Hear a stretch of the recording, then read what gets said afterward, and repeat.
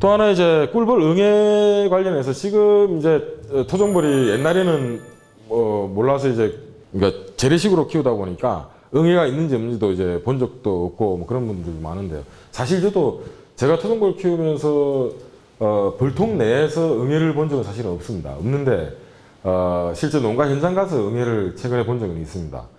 어, 원래 꿀벌 응애는 지금 이제 여러분들 생각하시기에도 이제 그렇지만 아까 제가 말씀드린 대로 꿀벌이 사라지는데 가장 큰 영향을 미치는 게 질병 중에는 노잼하고 어, 생산성 저하를 비롯해서 꿀벌 개체 수를 감소시키는데 가장 또 큰 영향을 미치는 건 어, 꿀벌 응애라는 게 어, 전 세계적인 그 병해충 연구하는 사람들의 공통적인 의견입니다.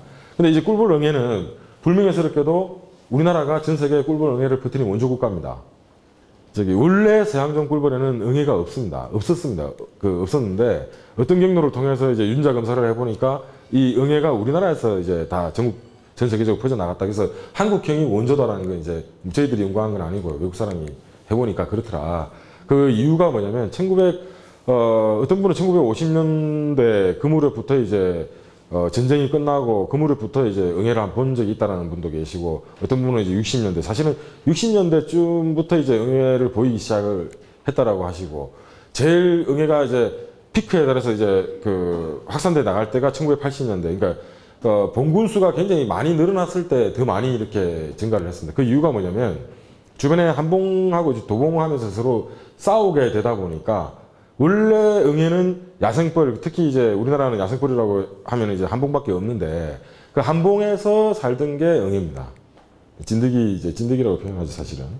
그런 그런 것들이 이제 제가 왜 근데 토종벌 하면서 한 번도 응애를 본 적이 없냐면 어, 볼 기회가 없었습니다. 뭐냐면 실제로 몸에 얘들은 뭐 응애 같은 게 한 마리가 이제 붙어 있다든지 어떤 불순물이 있다면 소문 입구에서 가만히 보면 처음에 저는 이제 도봉 싸우는 건 줄 알았습니다. 한, 한 마리에 한 세 마리 정도가 달라붙어 가지고 막 싸우는 것 같이 보입니다. 실제로 보면 막 그 청소해 주고 있는 거예요. 그래서 어, 몸에 붙어 있는 건 단 한 마리도 저는 본 적이 없습니다. 그러니까 붙어 있는 자체를 그 가만히 놔두지를 않아요, 걔들은. 어, 토종벌 키워보신 분들은 아시겠지만 양봉은 깨무는 경우는 거의 없거든요. 근데 여름에 이제 어, 토종벌 이렇게 내검하다 보면 깜짝깜짝 놀라는 게 팔에 이제 앉은 토종벌들이 깨뭅니다, 토종벌은. 꼭 그 저기 우리 흔히 얘기하는 닥터피쉬 아시죠? 닭질 뜯어먹는 것처럼 막 계속 깨뭅니다. 아플 정도로. 그 정도로 이제 이 깨무는 능력이 좋다라는 거면 청소력이 좋은 겁니다. 그래서 응애 같은 거 제거하는 능력이 굉장히 크죠. 그러다 보니까 이게 어 토종벌은 그런 특성을 가지고 있다 보니까 이 꿀벌 응애가 토종벌 벌통에서 살아남기 위해서 얼마나 노력했겠습니까, 그죠? 그렇지 않습니까? 근데 막상 이제 서양종 꿀벌로 딱 옮겨와서 보니까 자기 몸에 붙어 있는 것도 또는 어, 다른 옆에 일벌에 붙어 있는 것도 서로 떼내주지를 못하더라. 그래서 너무나 살기 좋은 곳이 이제 서양종 꿀벌이 된 겁니다. 그래, 그러다 보니까 이게 대정식하고 싹 이제 전국적으로 퍼져나, 전 세계적으로 퍼져나갔죠. 그래서 부작용이 싸나운 벌들이 응애 피해가 적습니다. 얌전한 벌일수록 응애 피해가 큽니다. 그래서 어, 미국 같은 경우 육종을 이제 응애 저항성 벌을 육종하겠다고 해서 아프, 아프리카 벌 그 수입해가지고 육종하다가 외부로 유입돼가지고 킬러비라고 들어보셨죠? 영화도 나왔습니다. 봉군을 엄청나게 강군으로 이제 하면서 야생에서 생존까지 가능하면서 이제 사람한테 집중적으로 공격해서 꽤 많은 사람들이 죽었던 그런 사건들이 있습니다, 실제로. 어, 이 응애가 그 여러 가지 피해를 많이 주는데, 자, 보시면, 어, 일벌 한 마리에 교미된 응애가 한 마리가 들어가서 나올 때는 세 마리가 돼서 나오고, 또 숯벌방에 들어가면 여섯 마리가 돼서 나옵니다. 단 3일 차이밖에 나지 않는데도. 자, 이제 응애 방지하는 거 관련해서 하고 이제 부수적으로 좀 설명을 드리고자 이 자료를 넣었는데요. 어, 응애가 한 마리 이제 여기 들어가면 왜 이렇게 저 아무 문제 없이 증식을 하냐면 자, 응애가 똑똑하겠습니까? 꿀벌, 그러니까 서양종 꿀벌이 똑똑하겠습니까?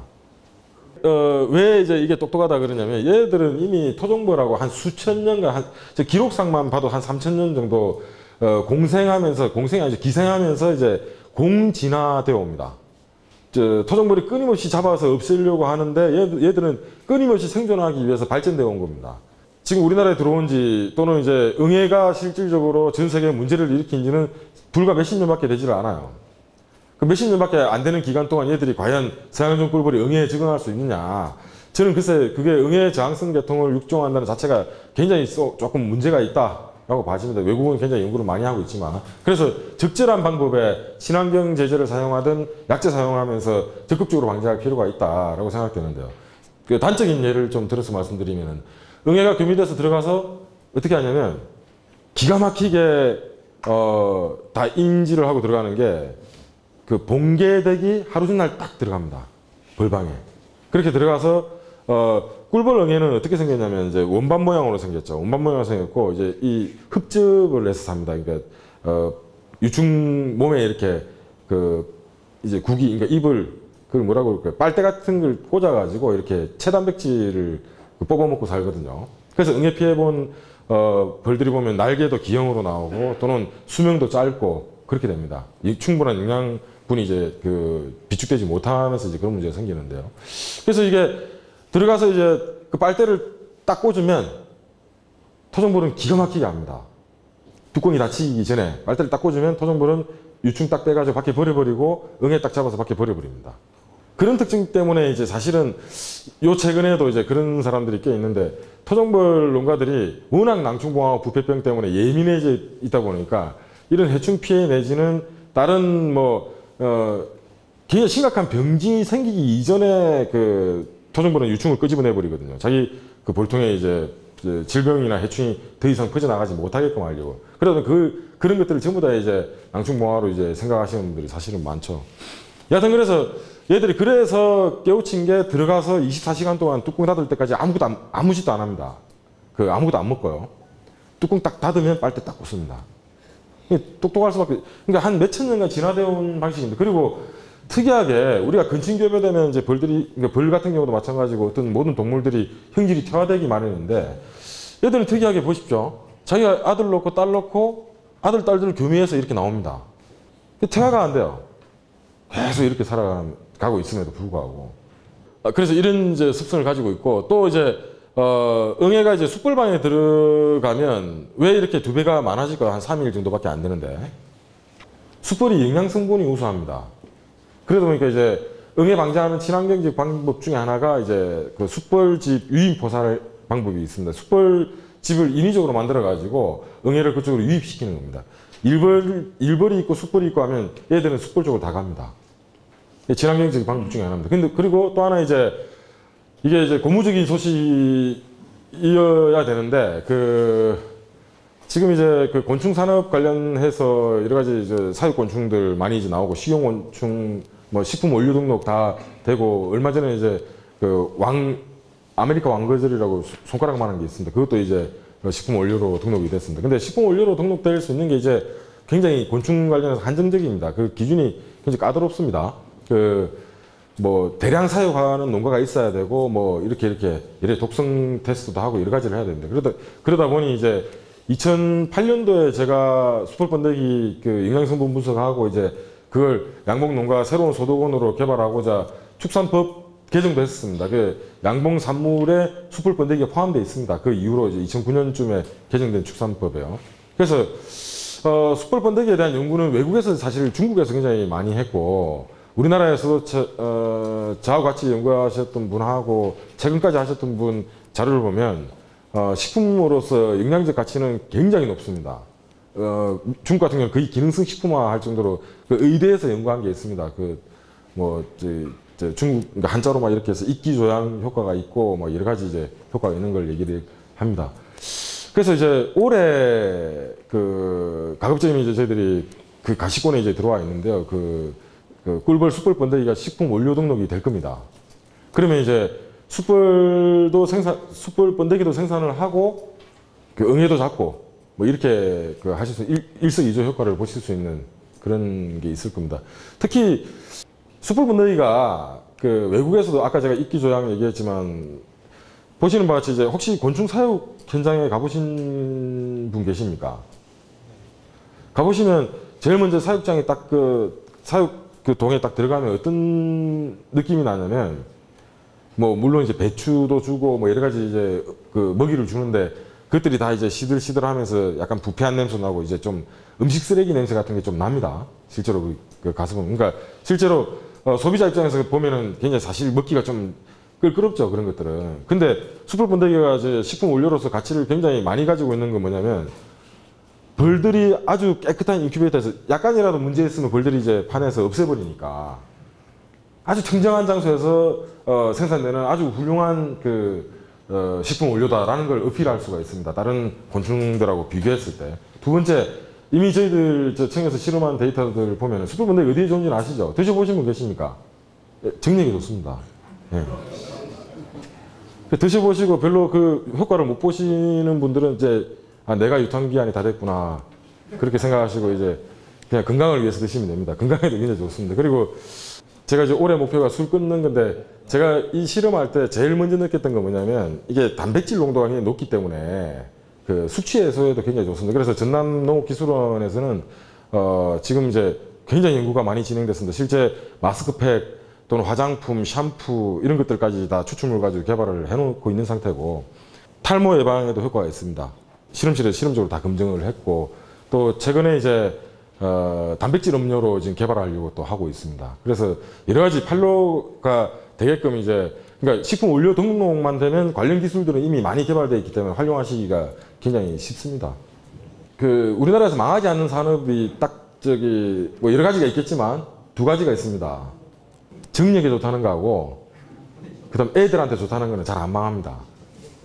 근데 이게 아이러니하게 숯불 번데기가 정력에도 좋지만 애들 발육기에도 굉장히 좋습니다. 왜냐하면 특히나 어, 임산부에 임산부가 드셔도 좋은 성분 중에 하나가 엽산이 다량 함유되어 있어가지고 그 태아 그 뇌 형성 물질이거든요.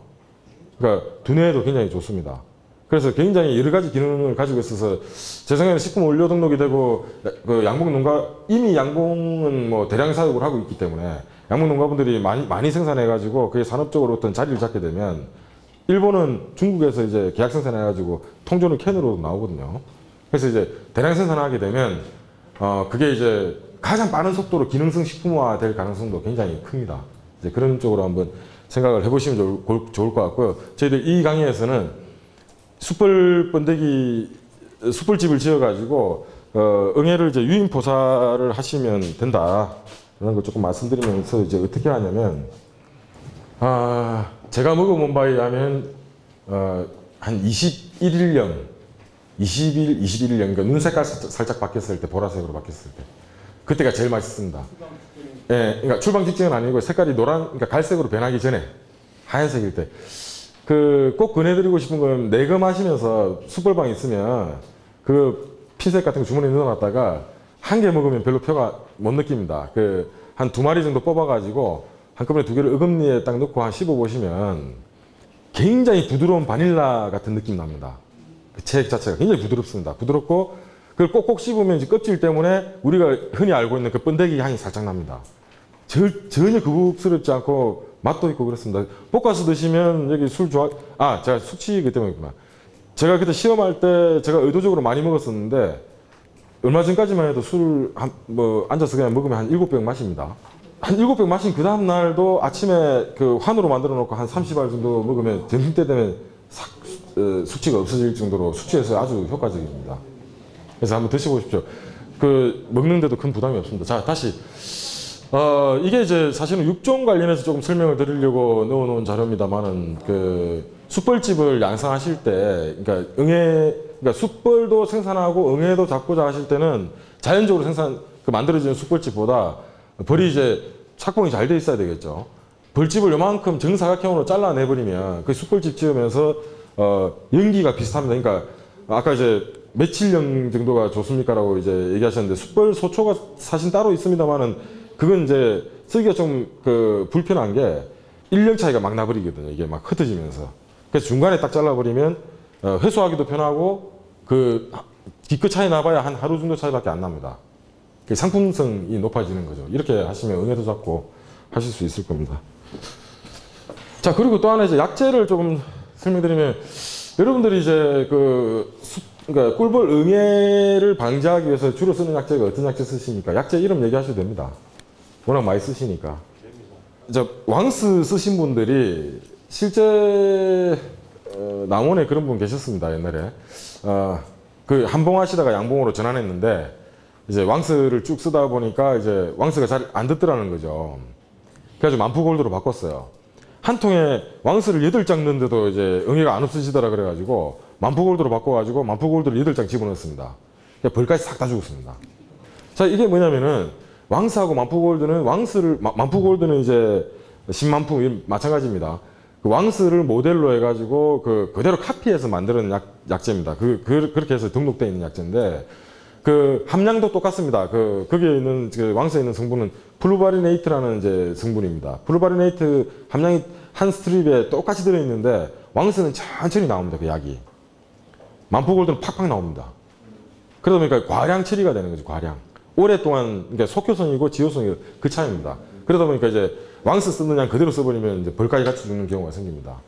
자 그럼 fluvalinate 가지고는 단점이 뭐냐면 그걸 지속적으로 사용하면 응애들이 내성을 가집니다. 제가 어, 2009년도에도 응애 시험하면서 이제 확인한 바로는 우리나라에 어, 꿀벌 응애를 완벽하게 다 잡는 약은 없습니다. 꿀벌 응애를 완벽하게 잡으려면 벌까지 같이 잡아야 됩니다. 그래서 아무리 좋은 약제라도 80% 이상 그 방제가는 나오기 어렵습니다. 실제로 저희- 제가 확인한 바로도 왕스도 한 80% 정도. 근데 문제는 뭐냐면 살아남은 20%가 그 자손까지도 응애 왕스에 대한 내성을 가지기 시작하는 거죠. fluvalinate는 그런 단점이 있습니다. 그래서 어, fluvalinate 계열 약제 내지는 그 그와 다른 계열의 약제들을 한 세 가지를 번갈아 가면서 사용을 사실은 하셔야 됩니다. 근데 아 그래서 이도저도 귀찮아서 나는 그냥 개미산 씁니다 하시는 분 계십니다. 자 단적으로 말씀드리면 제가 여기 소개시키는 방제 방법 전부 다 똑같습니다. 부작용이 뭔지 아십니까? 친환경적이든 아니든 다 똑같습니다. 자 꿀벌 응애 약제는 무슨 약제입니까? 살충제 살충제. 개미산 똑같습니다. 그 살충제는 곤충을 죽이는 게 살충제지 않습니까? 그러면 꿀벌도 죽입니다. 우리가 어떤 약제 같은 경우가 이제 보통 그 동물 실험할 때는 어, 약해, 뭐 약효 시험, 시험 할 때 항상 그 대상의 체중이나 이런 걸 따지거든요. 그러니까 꿀벌이 꿀벌보다 훨씬 덩치가 작은 응애 정도만 잡을 수 있는 그런 정도의 이제 독성으로 이제 제조된 게 꿀벌 응애 약제라고 생각하시면 됩니다. 근데 꿀벌 성충은 큰 피해를 안 보겠지만 응애를 잡기 위해서 쓰는 약제가 어디에 피해를 주냐면 유충에 피해를 줍니다. 특히 어린 유충에. 그래서 다들 아시겠지만 응애 약제 처리하는 시기에 약제 처리를 하고 나면 우리가 흔히 표현하는 이제 그 꼼보봉판이라고 얘기하죠. 그 구멍 뽕뽕뽕 뚫린 봉판이 많이 생기는 이유가 유충 피해를 보기 때문에 그렇습니다. 그래서 응애가 많이 발생해서 어 뭐 벌수가 많이 늘어나지 않는 부분도 있지만 응애 약제 사용을 잘 못해서 어, 벌수가 많이 안 늘어나는 경우가 훨씬 많습니다. 자, 개미산이 이제 그 대표적인 케이스인데, 개미산은 저희들은 60%짜리 씁니다. 그래서 저보고 이제 개미산 사용법을 좀 알려주십시오 해서 저는 안 알려줍니다. 왜냐면, 개미산은 각자가 알아서 쓰셔야 됩니다. 왜냐면, 어, 내 벌통의 종자가 다르고, 봉쇄가 다르고, 기온이 다르고, 시기가 다르면, 약효가 다 다르게 나와버립니다. 일 예를 들어서, 어떤 분이 이제 개미산 사용하는 방, 방법을 이제 옆에 계신 분한테 한 200통 가지고 계신 분한테 아, 이것저것 묻지 말고 그냥 내가 이렇게 써보니까 좋더라. 그래서 내, 내 따라서 그냥 이대로 써. 이렇게 써가지고 200통이 몽창 죽은 사례가 있습니다. 그래서 소송 걸고 물어내라고 시킨 대로 했는데 그게 이제 벌이 다르기 때문에 그런 거죠. 그래서, 어, 자기만의 방법으로 이제 방제를 하셔야 되는데 여기서 이제 한 가지 더 어, 말씀드리고 싶은 게 효과적인 약제 방제 또는 효과적인 봉군 관리의 가장 중요한 건 바로 이제 그 기술력입니다. 어, 항상 이제 제가 뭐 예를 들어서 말씀드립니다만 이제 전, 전북에는 이제 완주에 그, 그 계신 분이 계신데 그분이 1년에 관리하는 벌이 한 2,000통 아마 아시는 분은 아실 겁니다. 2,000통 정도 됩니다. 스토리가 어떻게 되냐면 그분이 이제 매출은 한 7억 가까이 됩니다. 양봉 매출 7억이면 아무리 많이 돈을 써도 어, 순이익 3억 이상 됩니다. 자, 근데 2,000통 관리하는데 어떻게 하냐면 1,000통은 그 일대 그 딸기 화분 매경으로 다 납품합니다. 임대로. 이 임대한다는 건 결국은 이제 하우스 다니면서 계속 관리를 해줘야 되는 거거든요. 하는데 어 15만 원에서 17만 원.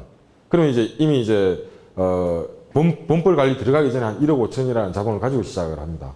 두 번째 어 본벌 시작할 무렵에 종봉으로 500통 팝니다. 한 통당 25만 원씩 해가지고.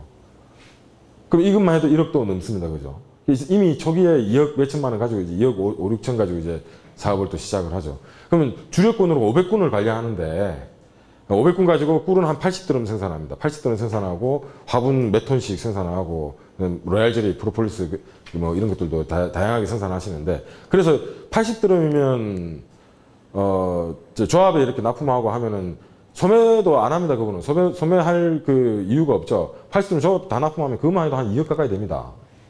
그러니까 그런데 이게 중요한 건 뭐냐면 그 2,000통 중에 이제 주력군 500군 그리고 1,000통은 화분배기로 나가 있는 이 벌들을 관리하는데 몇 명이 필요할 것 같습니까? 그러니까 6, 7명 보통 그렇게 얘기하시는 분들 많습니다. 거기에는 두 분이 하십니다. 그러니까 제가 말씀드린 것처럼 기술력이 소득을 자주주장합니다. 제가 그래서 참 이제 여기 그런 분도 계시겠지만 안타까운 게 아마 자기 스스로 아실 겁니다. 딱 가서 경력을 떠나서 그러니까 얼마나 오래 했는가를 떠나서 관리 기술을 알 수 있는 방법은 봉장만 딱 가보면, 압니다. 볼통만 봉장 가서 볼통만 딱 보면 한 50통 하시는 분들 중에 자 한 50통 하시는 분 손 한번 들어보시죠. 50통 하는데 50통 보기도 너무 힘들잖아요. 그래서 100통, 200통 할 100통, 200통 하게 되면 사람 한 명 고용해야 될 것 같은데 내가 굳이 사람까지 고용해서 이렇게 하- 하고 싶은 생각은 없고 그런 생각 하시는 분도 계실 겁니다. 50통만 봐도 너무 힘들다. 여기에 이제 그 차이점이 있습니다. 딱 가보면 50통이 어떤 상태냐면 이제 한참 벌이 발효가는 시기에 가보면 단상도 있고 개상도 있고 삼상도 있고 막 들쑥날쑥합니다. 저희들도 이제 쭉 인류를 놓고 이제 뭐 실험한다고 이제 실험하다 보면 아, 생각해놨다 이제 어 이거 이제 뭐 약재 처리를 좀 해야 되겠다 그런 통이 있으면 어, 저 해야지 하고 기억해놨다가 한 네다섯 통 딱 보는 순간 어느 통인지 까먹어 버립니다. 이 50통 정도 관리하시는 분들은 벌을 볼 때마다 50통을 다 열어봐야 돼요. 그렇지 않습니까? 그러다 보니까 이제 도봉 관리도 안 되는 거죠. 약군에 이제 도봉 생기고. 그분은 어, 1년에 한 번 왕을 바꿉니다. 그래서 어, 왕 상태를 동일하게 만들어주고 월동 들어가서 이제 봄벌 키울 때 이상이 있는 건 빨리 처리를 하고 벌 상태 내용을 똑같이 만들어줍니다. 그 먹이장 똑같고 벌수 똑같고 봉판, 산란판 다 똑같이 맞춰져 버립니다. 그래서 어떻게 그럼 두 사람이 그 벌을 관리를 하십니까? 하고 이제 그 질문을 했더니 그 사람들은 하루에 내금은 딱 10통만 한답니다. 열통만 딱 보면 뭘 해야 될지가 딱 답이 나오는 거죠. 그러니까 숯불집 제거해야 되겠다. 그러면 50통 하시는 분들이 굉장히 꼼꼼하게 보십니다. 뚜껑 열어가지고 하, 여왕불은 얼마나 또 잘 있는가도 보고 막 그렇게 내검하는 시간이 오래 걸립니다. 한 통당. 볼통은 한 통 내검하는데 10분 이상 걸리면 안 됩니다. 특히 봄철에는 얘들이 기껏 막 보온을 열심히 해놨는데 10분 이상 뚜껑 열어놓으면 그냥 그 저, 보통 그렇게 얘기하죠. 1분에 뭐 10%씩 없어진다고 얘기할 정도로 그 육아를 제대로 하지를 못해요. 그래서 어, 몇 통만 딱 열어보고 그 내가 뭘 하지 하면 그 사람들은 한 한 통 내검하는데 한 3분 왜냐면 숯불지만 쫙 제거하는 게 여왕벌을 안 봅니다. 계속 그렇게 해놓고 그 다음에 또 그 다음 날은 여왕벌 한번 찾아볼까 하고 이제 찾아보다가 이제 여왕벌 망실된 데가 있으면 또 싹 그냥 여왕벌만 찾습니다. 근데 그 통은 너무나도 명확한 게 여왕벌이 어딘지 알아요. 여러분들 아시다시피 여왕벌은 쓸데없이 먹이장에 갖다 붙어 있- 있지 않거든요. 여왕벌도 딱 제일 중간에 있는 벌집 하나만 뽑아내면 딱 보이게 돼 있습니다. 만약에 제일 중앙에 있는 벌집을 뽑았는데 여왕벌이 없더라. 그러면 거기에 산란을 보시면 여왕벌이 있는지 없는지 확인이 가능합니다. 산란은 그 알이 수직으로 서, 있, 서 있는 봉판이 있으면 어, 그 육아판이 있으면 그 여왕벌이 무조건 있습니다. 오늘 산란한 알이기 때문에 굳이 뚜껑 오래 열어놓고 여왕벌을 굳이 찾겠다 하고 안 보셔야 됩니다. 그러니까 전문화가 돼야 된다는 게 그런 겁니다. 그러니까 어, 저기 개미산 이제 말씀드리다가 이제 이까지 말씀드렸는데요. 첫- 예, 예를 들어서 내가 100통을 가지고 있다 하더라도 100통이 내용이 전부 다 똑같다 그러면 약재를 쫙 준비해놨다가 순식간에 쫙 그냥 그 처리를 할 수가 있습니다. 약재 효- 방제 효과도 동일하게 이제 방제 효과를 보는 거죠. 이게 이제 전문 농가와 이게 전문성이 떨어지는 사람이 이제 차이가 이제 나타나는 거죠. 그래서 개미산 사용은 그렇게 하시면 되는데 개미산을 사용하시면 이제 안 됩니다. 그 개미산이 재작년부터인가요? 화공약품으로 분류되어 있습니다. 화공약품으로 분류되어 있으면서 어, 화공약품으로 분류되어 있으면 어떤 제재가 있냐면 판매 양봉원에서 이제 못 팝니다. 판매하는 사람은 화공약품 판매 허가가 있어야 됩니다. 그리고 그걸 사용하는 사람은 화공약품 취급 허가를 받아야 됩니다. 양봉 농가들이 그 무슨 어떻게 이제 시험 쳐가지고 그걸 바- 받을 수 있겠습니까? 그래서 비축분을 제외하고 이제 쓸 수 있는 약재가 아닙니다. 개미산은. 그래서 지금 이제 유일하게 쓸 수 있는 유기산으로는 옥살산이 있는데 세계적으로 지금 이제 이 방법이 굉장히 이제 좀 유용하다 그렇게 해서 사용을 하는데 한번 보시죠. 제가 설명은 제가 따로 해드리겠습니다. 아, 지금 옥살산하고 글리세린하고 같이 섞어서 사용하는 방법인데요. 먼저 이제 이런 이제 저기 타월 준비하시고 우리 이제 저 제일 좋은 건 일회용 그 일회용이라기보다 빨아 쓰는 그 키친 타월 있잖아요. 부엌에 쓰는 거. 그걸 쓰시면 되고요. 겨울 겨울은 뭐 당연히 있어야 되고. 개미산을 사용하시는 분 이- 이건 조금 말씀을 드리고 개미산을 사용하시는 분들이나 유기산을 사용하시는 분들이 제일 저 조심하셔야 되는 게 뭐냐면 혹시 옛날에 양봉장 소독하고 봉구 소독하고 할 때 포르말린 써보신 분 계시죠? 네. 그 실제 누에 하시는 분들이 잠실 소독할 때 포르말린을 많이 씁니다. 실제 그러다 보니까 어, 이, 저 포르말린 같은 경우도 마찬가지로 개미산도 사실은 똑같습니다만 이 약재에 대해서 피해를 가장 가까이서 보는 사람이 누군지 아십니까? 그렇죠. 본인이 제일 많이 피해를 봅니다. 그래서 개미산 쓰는 사람들 보면 막눈 점막이나 코 점막 상하고 하시는 분들 많고 포르말린 쓰, 쓰신 분들은 포르말린이 얼마나 독하냐면 방독면 쓰고 소독을 해도 그게 체내로 많이 유입됩니다. 포르말린은 1급 발암 물질로 되어 있는 거 아시죠? 그래서 이제 뭐 포르말린 옛날 얘기니까 좀 넘어가더라도 그래서 반드시 아까 나온 그런 보호 장비 고글 같은 걸 착용을 하시는 게 제일 좋습니다. 마스크 같은 것도 같이 쓰시는 게 좋고요.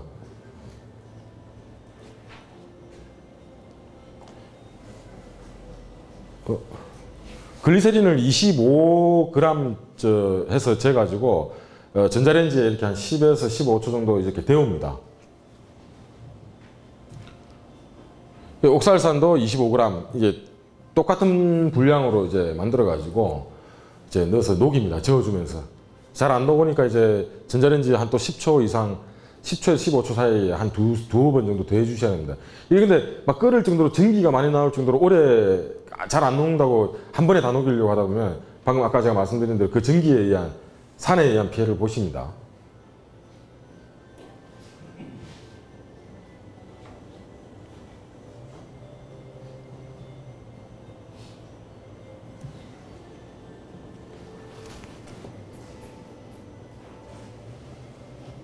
한 10초 정도 더 한번 전자레인지에 돌려주시고 다 녹으면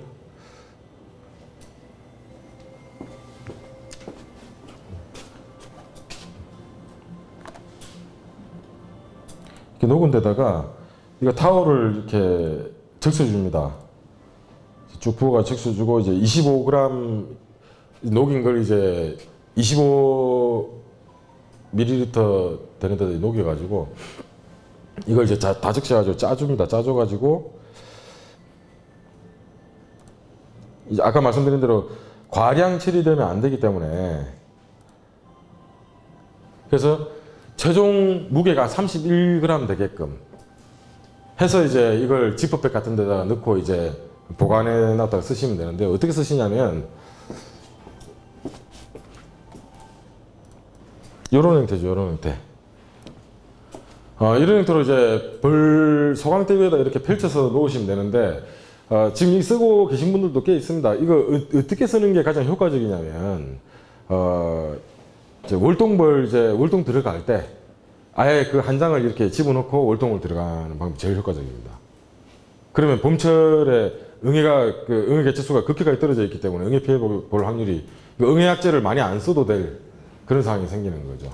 그래서 이 이것만 사용하시면 되는 게 아니라 아까 이제 제가 말씀드린 대로 토종 그, 그 숯벌도 양성을 하시고 더 좋은 것은 지금 순천 쪽하고 저도 몰랐습니다. 제가 이제 원래 응애 친환경 응애 약재 개발 과제를 하면서 약재를 개발해 놓은 게 있습니다. 있는데 어, 우리나라가 이제 어, 아시다시피 꿀벌 또는 동물 약재 약품들 중에 특히나 이제 꿀벌 관련해서 양봉 관련해서 약재들 중에 국산 약재가 등록되어 있는 경우가 없습니다.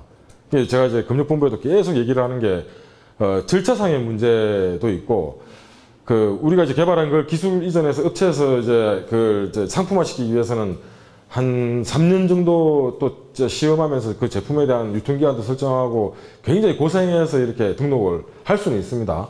해놓고 나면 다른 업체에서 그대로 카피해가지고 한 달 만에 등록해 버립니다.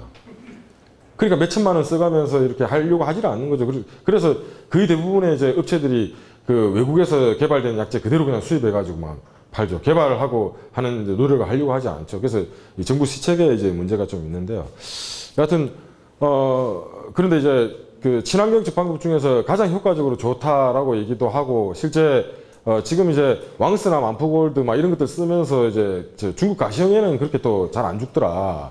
중국 가시- 가시형에는 좀 다릅니다. 그 어, 이동하는 능력이 뛰어나고 생긴 게 이렇게 생겼습니다. 생기고 어, 입은 이렇게 생겼습니다. 그래서 뜯어먹기 좋게 되어 있습니다. 걔들은 뜯어가지고 빨아먹고 이게 빨대 꽂아가지고 이렇게 먹는 게 아니라 상처만 계속 내고 이제 빨아먹고 다니고 하면서 또 잘 숨고 크기도 작고 이제 그런 것들까지도 이제 효과적으로 방제가 되는 게 어, 귤 오렌지 껍질 그 버리지 마시고 말려 놓으셨다가 훈연기에 넣고 훈연을 하십시오. 그 제가 이제 사진도 여러 장 받은 받은 적이 있는데 전화로 이렇게 설명해 주고 그분은 굉장히 순천에 계신 분인데 굉장히 적극적으로 하셨어요. 그러니까 귤 껍질이 없으니까 어 근제산 가가지고 진피가 그 귤 껍질 차 끓여 먹는 그겁니다. 진피라는 게그 진피차용으로 나, 판매하는 게 있습니다. 그걸 가지고 사- 가격이 그렇게 비싸지 않아요. 그래서 사가지고 훈연을 해봤더니 시트지 깔아서 이제 보니까 응애가 엄청나게 많이 떨어지더라. 그래서 어 제일 이- 제- 제가 써본 방법대로는 그렇습니다. 저녁 해, 그해 떨어진 물에 벌이 다 들어오고 나서 우리나라에 지금 훈연제는 없습니다. 꿀벌 응애 약제가. 그 폴백스라고 종이 태워서 하는 게 있는데 그게 약제 잔류 독성이 너무 강해서 지금 금지 약제로 되어 있는데요. 그건 쓰시면 안 되고 그래서 어 진피 가루를 진피, 어, 진피 가루가 아니고 그 귤 껍질 말린 걸 이제 훈연기에 태워서 뭐 하시면 이제 쑥하고 같이 태우셔도 됩니다. 하여튼 듬뿍 넣어가지고 태워가지고 그걸 이제 소문에다가 어 오후, 오후 늦게 이렇게 한 세 번 정도 분, 그이 훈연하시고 소문 닫아놓고 한 1, 2분 있다 열어놓으면 됩니다. 열어놓으면 이제 벌들이 한번 싹 나왔다가 들어가면서 외부에 나와 있는 응애들은 이제 싹 다 떨어집니다. 그게 이제 다시 또 봉판이 터져 나올 무렵에 또 한 번 더 해주시고 그래 그렇게 하시면 좋은데 어, 지금 쓰고 계신 분들은 그것도 귀찮아서 이게 우리 농가분들은 이제 편하게 쓸 수 있는 방법이 제일 최고입니다.